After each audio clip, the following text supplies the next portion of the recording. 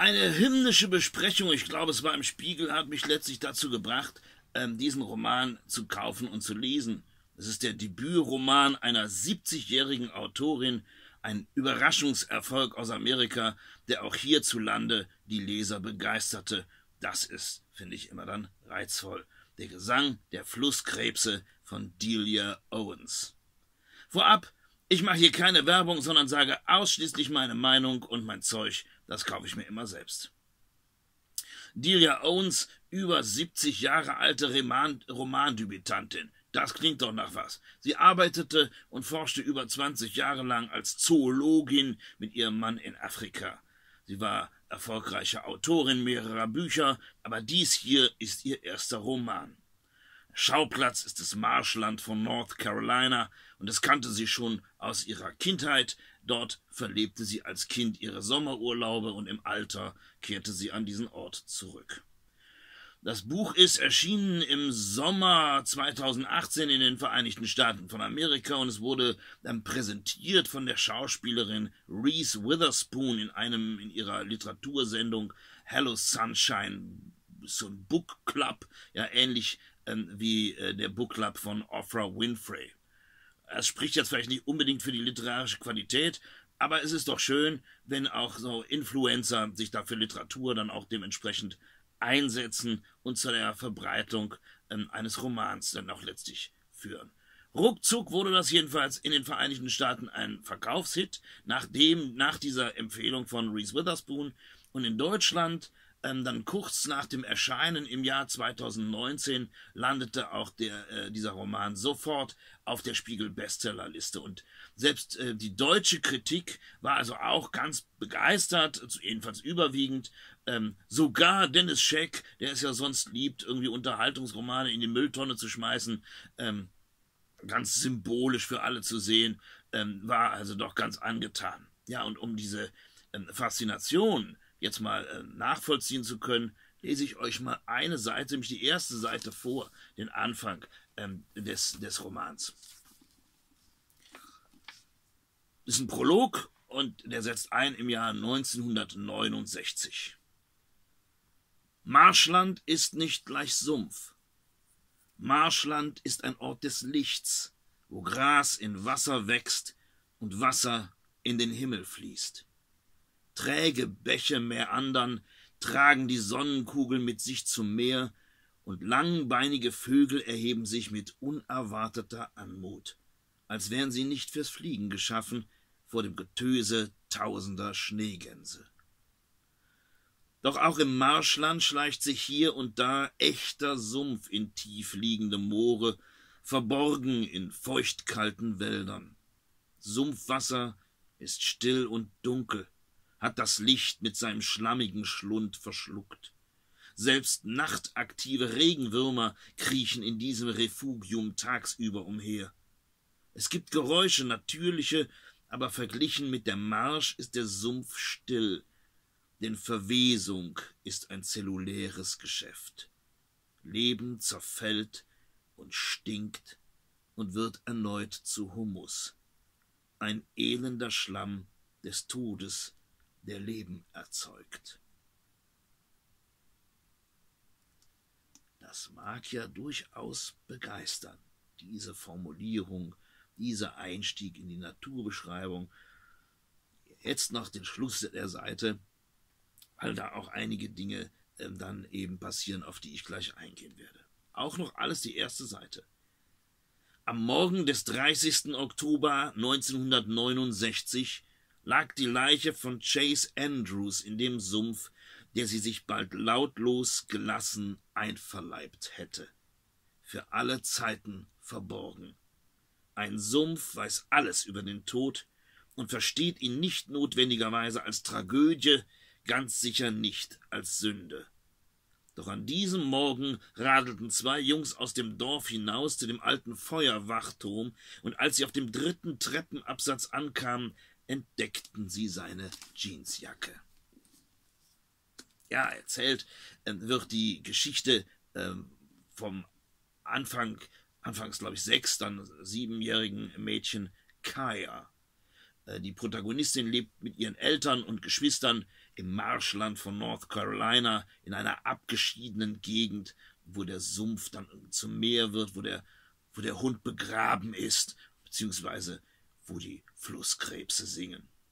Im Marschland, da leben die Ausgestoßenen, oftmals die Gescheiterten, diejenigen, von denen man sich im nächstgelegenen Provinzkaff distanziert. Kaya hat es nur wirklich nicht leicht. Der Vater ist Alkoholiker, dazu noch gewalttätig. Wenn er im Suff ist, dann schlägt er zu.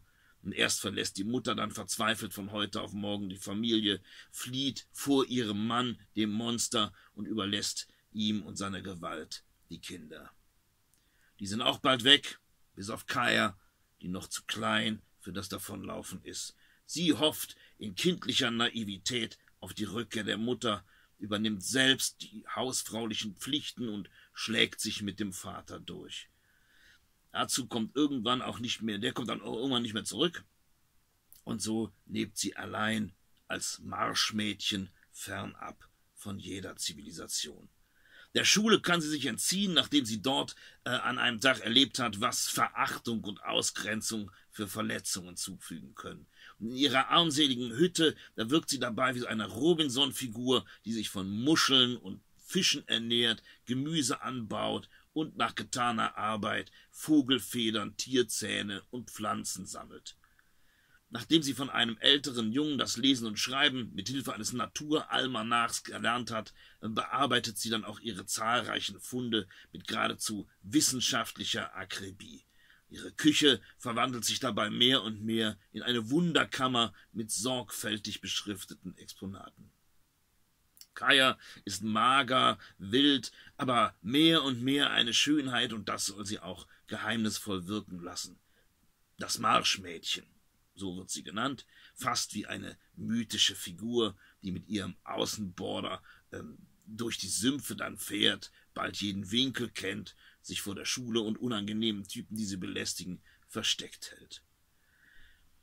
Diese Handlungsebene setzt ein im Jahr 1952, während die andere eben sich um einen Leichenfund dreht, das wurde ja eben deutlich, und dann in der Aufklär äh, und da geht es dann um die Aufklärung des Verbrechens. Diese spielt 1969 und äh, beide Handlungs- bzw. Zeitschienen bewegen sich aufeinander zu, was aber jetzt äh, also kunstvoller klingt, als es dann letztlich ist. Chase, der bewunderte Quarterback und Frauenschwarm, Sohn reicher Geschäftsleute, verheiratet dann mit dem äh, hübschesten Mädchen dieses Provinznests, wird ermordet, aufgefordert und der äh, aufgefunden und der Verdacht, der fällt auf Kaya, die immerhin die heimliche Geliebte des Ermordeten war, äh, bis er sie hat sitzen gelassen. Auf der Zeitschiene der 50er Jahre äh, lernt die praktisch vollkommen allein lebende Kaya die Natur kennen und erkundet dabei vor allem die biologischen Beweggründe der Beziehungen von Lebewesen äh, untereinander. Auch dafür ähm, habe ich eine kleine Stelle ausgesucht, die das verdeutlicht. Kaya atmete schwer. Letzte Nacht hatte sie allein am Ufer der Lagune getanzt, sich mit dem Mond und den Eintagsfliegen gewiegt, und sie hatte geglaubt, sie wäre bereit, hatte gedacht, sie hätte durch das Beobachten von Tauben alles gelernt, was man über Kopulation wissen konnte. Niemand hatte je mit ihr über Sex geredet, und ihre einzige Erfahrung mit Vorspiel hatte sie mit Tate gemacht. Aber aus ihren Biologiebüchern hatte sie Einzelheiten erfahren, und sie hatte mehr Geschöpfe bei der Paarung beobachtet, als die meisten Menschen das je tun würden. Und es beschränkte sich nicht darauf, dass sie ihre Hintern aneinander reiben, wie Jody gesagt hatte. Ja, sie, äh, die also nun in, in völliger Einsamkeit lebt, zieht aus so Verhaltensweisen, die sie in der Natur beobachtet, ständig dann Rückschlüsse auf die Beziehungen zwischen Menschen. Manchmal helfen ihr dabei also nicht nur die Beobachtung in der Natur, sondern auch noch so Artikel in verschiedenen biologischen Fachzeitschriften, an die sie dann herankommt. Ähm, da will ich auch zwei Stellen ähm, kurz vortragen. Als sie jetzt vor der alten Blockhütte saß, griff sie nach einer naturwissenschaftlichen Fachzeitschrift. Ein Artikel über Fortpflanzungsstrategien trug den Titel Raffinierte Schürzenjäger. Kaya lachte. Es ist allgemein bekannt, begann der Aufsatz, dass in der Natur die Männchen mit den auffälligsten sekundären Geschlechtsmerkmalen, dem größten Geweih, der tiefsten Stimme, der breitesten Brust und mit überlegenem Wissen die besten Territorien beherrschen, weil sie schwächere Menschen vertrieben haben. Die Weibchen paaren sich mit diesen dominanten Alpha-Männchen und werden so mit der bestmöglichen DNA befruchtet, die an den Nachwuchs weitergegeben wird, eines der einflussreichsten Phänomene der, Adop äh, Phänomene der Adaption und für den Fortbestand des Lebens. Allerdings verfügen einige schwächer entwickelte Männchen, die nicht stark genug, nicht prächtig oder klug genug sind, um gute Territorien zu verteidigen, über ein ganzes Arsenal von Tricks, um die Weibchen zu täuschen. Kaya ließ die Zeitschrift sinken, ihre Gedanken trieben dahin wie die Wolken. Manche Insektenweibchen fressen das Männchen nach der Paarung auf. Überlastete Säugetiermütter verlassen ihre Jungen. Viele Männchen entwickeln riskante oder gerissene Strategien, um ihre Konkurrenten bei der Fortpflanzung auszuboten. Nichts schien zu ungehörig, solange nur die Uhr des Lebens weiter tickte. Kaya wusste, dass das keine böse Seite der Natur war, dass es sich lediglich um einfallsreiche Methoden handelte, um den Fortbestand der Spezies allen Widrigkeiten zum Trotz zu sichern. Bei Menschen musste es doch um mehr gehen. Ja, mit Verlaub, diese Einschübe der Biologin Owens wirken nicht nur aufgesetzt, die Protagonistin Kaya wirkt dadurch auch nicht selten einfältig. Schlimmer, wer auf diese äh, lehrbuchhaften Sätze achtet, der weiß eigentlich dann auch schon, wie es in der Handlung weitergeht, und so begreift auch Kaya dann einige Zeit später, was der Leser schon immer vorhersah, zumindest ahnen musste. Von daher ist das auch kein Spoilering, wenn ich jetzt noch eine Stelle hier weiter vorlese. Das alles war kein Zufall gewesen. Chase hatte sie ganz gezielt mit seinem Gerede von Heirat geködert, dann prompt mit ihr geschlafen und sie anschließend wegen einer anderen verlassen. Sie wusste aus ihren Studien, dass Männchen von einem Weibchen, von einem Weibchen zum nächsten ziehen. Warum also war sie auf diesen Mann hereingefallen? Sein schickes Wasserskiboot entsprach dem aufgeblähten Hals und dem übergroßen Geweih eines brunftigen Hirschbullen. Zubehör, um andere Männchen abzuschrecken und ein Weibchen nach dem anderen anzulocken. In den Kritiken, vor allem äh, im Spiegel, werden vor allem ja die Naturbeschreibungen als sehr eindringlich gelobt. Hier gelinge es der Autorin, die Schönheit des Marschlands einzufangen. Das stimmt auch zu einem guten Teil. Wir haben ja auch den Anfang uns äh, angeschaut. Wir finden darin ganz kräftige Naturbilder, manchmal durchaus schwülstig. Trotzdem aber bleibt die Natur letztlich Kulisse. Immer wieder kommt es zu Einschüben mit Naturbeschreibungen, wobei die Poesie dann nicht immer dabei gelingen mag. Das Essen spielt übrigens eine ganz genauso große Rolle wie dessen Zubereitung. Da wird überhaupt kein Detail ausgespart, was irgendwann auch ziemlich auswechselbar erscheint. Also immer wieder wird betont, ähm, dass, dass, sie dann kocht, wie Ma es gemacht hätte, also Schwarzaugenbohnen mit roten Zwiebeln, gebratenem Schinken und Maisbrot, immer wieder Maisbrot, äh, mit Grieben in Butter und Milch gekochte Limabohnen, warmer Brombeerkuchen mit einer süßen Buttersoße, in die etwas Bourbon gerührt wurde und so weiter. Also das, das dampft hier an allen Ecken und Enden. Es dampft und riecht, was man natürlich was natürlich die Sache sehr anschaulich macht, ja. Man fühlt sich praktisch sehr ein in, in diese armselige Hütte, in diese Essenszubereitung, dieses gemeinsame Essen. Irgendwann ist es aber auch ein bisschen viel, ja, genauso wie diese ähm, Naturbeschreibung oder diese ständigen, äh, dieses ständige äh, ja, ähm, Übertragen auf die Tierwelt die, die Beobachtung der Tierwelt auf die Menschenwelt übertragen, ähm, das ist dann manchmal ganz schön dick ähm, aufgetragen. Ja. Und immer, wenn die Kriminalhandlung erzählt wird, dann wirkt die Machart durchaus trivial. Also, da gibt es einen Sheriff, Deputy, dies sind beides Abziehbilder, man kennt sie gefühlt irgendwie aus tausend Filmen. Die Erzählweise ist in diesen Passagen extrem dialoglastig und wirkt also der typischen Krimi- und Trivialliteratur äh, entnommen. Die Gerichtsverhandlung, die es dann auch gibt, die erscheint irgendwie als Farce, vor allem aber unglaubwürdig, manchmal absurd. Das aber jetzt nicht irgendwie im Sinne einer kafkaesken Absurdität aller der Prozess, sondern es scheint weniger beabsichtigt äh, als doch vielmehr ein, ein Mängel, ein, ein erzählerischer Mangel letztlich zu sein. Insgesamt ähm, findet Owens nicht zu einem klaren eigenen Stil. Die unterschiedlichen Teile wirken fast unfertig aneinander gesetzt. Auf der einen Seite haben wir also Passagen von, von großer Kraft und großer Geste, dann wieder Versatzstücke aus der Trivialliteratur. Was übrigens auch, jedenfalls zum Teil für die als Königsdisziplin äh, gilt, das ist die Darstellung ja von, von körperlicher Liebe. Die Liebesszenen hier sind in der Regel alles andere als poetisch, sind auch nicht irgendwie innovativ gestaltet. Ähm, man kennt zu dieser Art der Darstellung eben auch eher so aus der trivialeren Literatur. Als ein Beispiel letztlich für diese Unausgewogenheit des Stils ähm, eine ganz kurze Stelle vom Ende, relativ vom Ende ähm, des Romans. Dank Tates inniger Zuneigung erkannte sie schließlich, dass menschliche Liebe mehr ist als die bizarren Paarungskämpfe der Geschöpfe in der Marsch.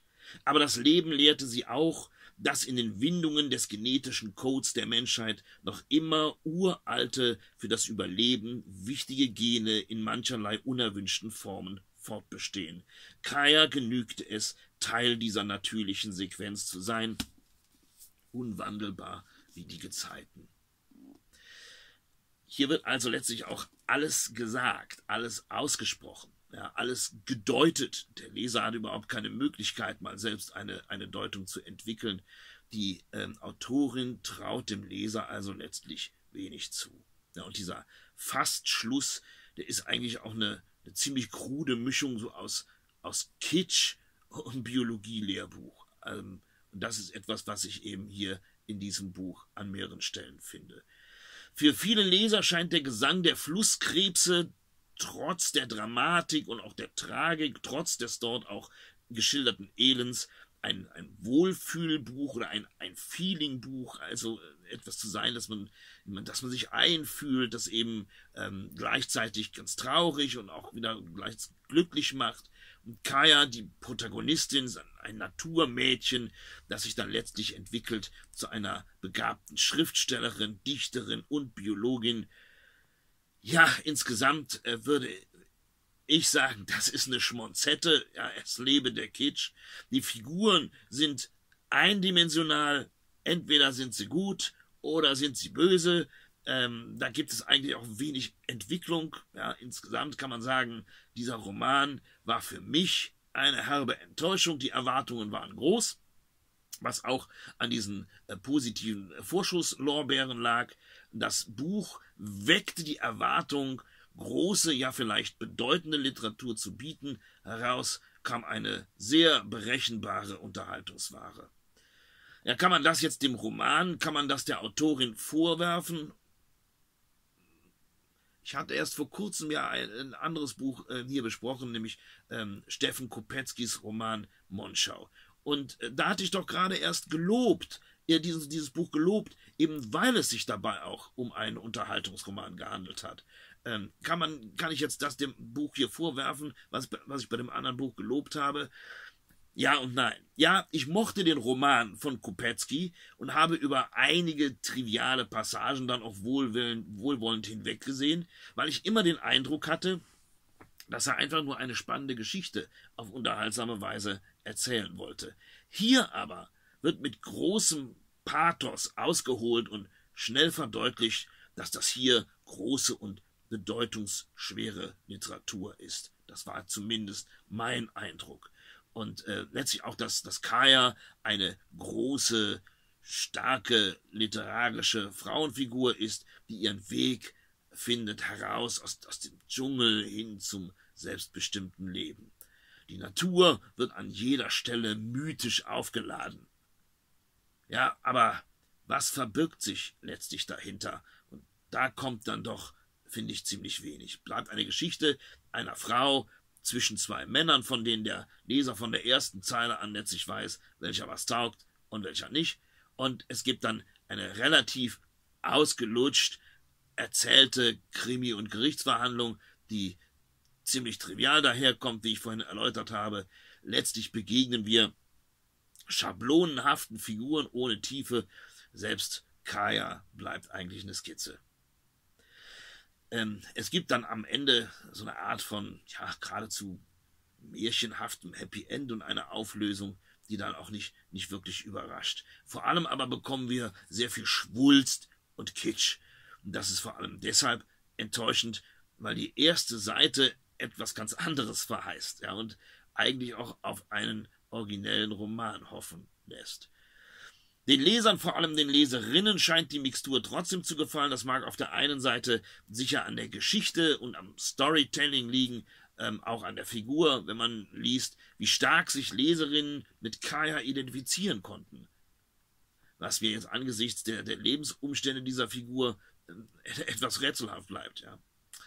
Ähm, es liegt aber auch sicher am Einfluss von äh, prominenten Influencern wie Reese Witherspoon, die eben nicht nur das Buch ganz kräftig beworben hat, ähm, sicher aus echt empfundener Begeisterung, kein Zweifel, ähm, sondern sie ja auch gleichzeitig die Verfilmung mitproduziert.